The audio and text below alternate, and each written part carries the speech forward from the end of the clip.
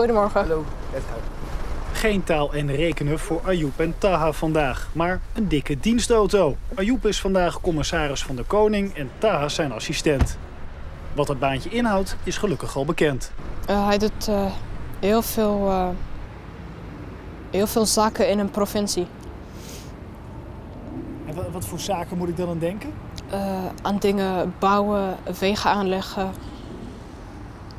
dat soort dingen voor de buurt. Eerste stop is het habitat van een commissaris, het provinciehuis. Daar ontmoet Ayoub Jaap Smit, die normaal commissaris van de Koning is. Ik zal u zo een beetje uitleggen wat het werk allemaal betekent. Ja? Okay. Goed zo. Wat gaan we doen? Nou, geef maar even een kleine introductie provinciepolitiek aan de klas en dan neemt Ayoub het wel over hoor. Op naar Alphen aan de Rijn, waar een planoloog uitlegt hoe je een station ontwerpt. Nou, laten we even doorlopen naar de andere kant. Heel snel dan. Met deze informatie gaat Ayoub samen met de klas plannen bedenken om het station van Waddinxveen te verbeteren. Erg leuk, maar niet de droombaan voor Ayoub. Dat is accountant.